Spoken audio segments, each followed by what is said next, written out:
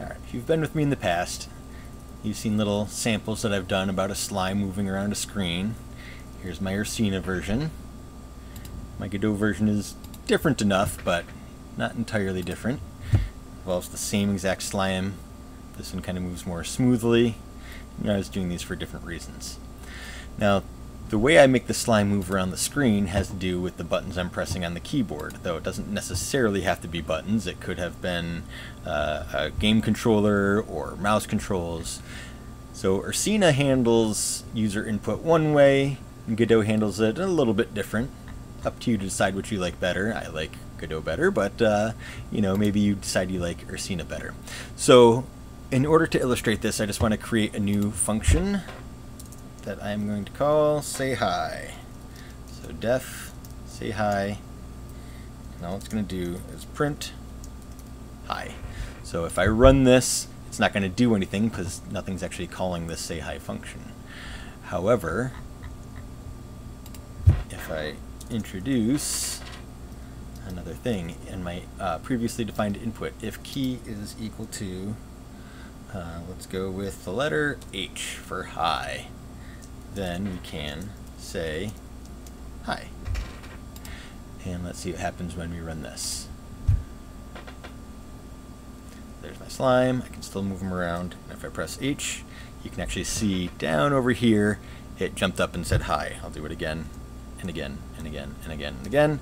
So you can see that something's happening. Something's reacting when I'm pressing the H button on my keyboard.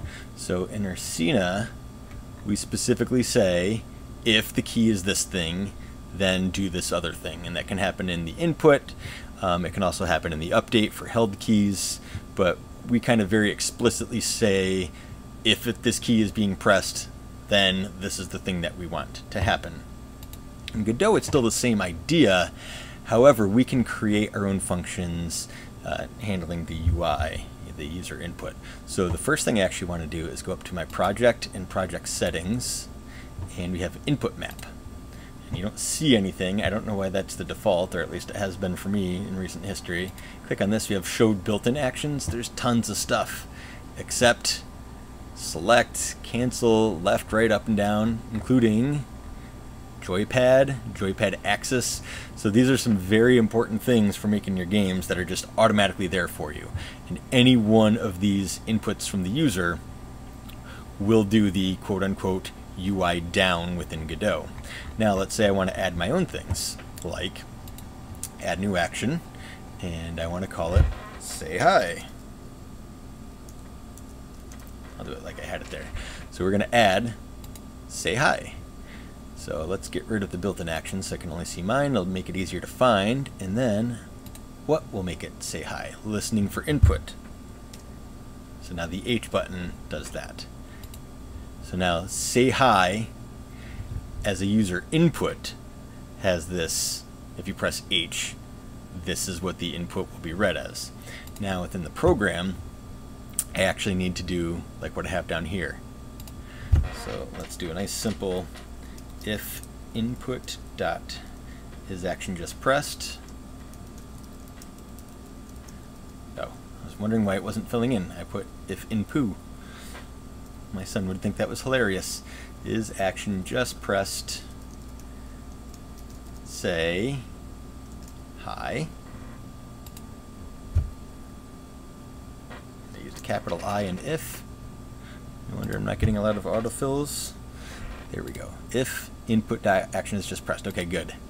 So what we want to do is print.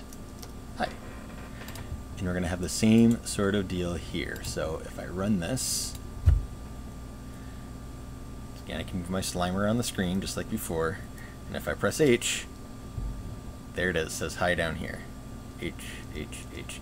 And this is really useful for you have a game involving a gun, you want to shoot the gun, um, something for running, you know, a button that you can hold that makes you run at a faster speed, whatever it happens to be.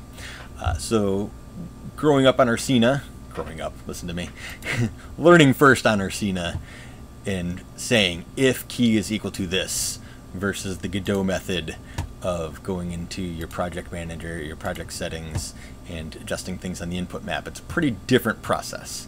the result is the same. And it's up to you which one you like better. I happen to like this a little bit better.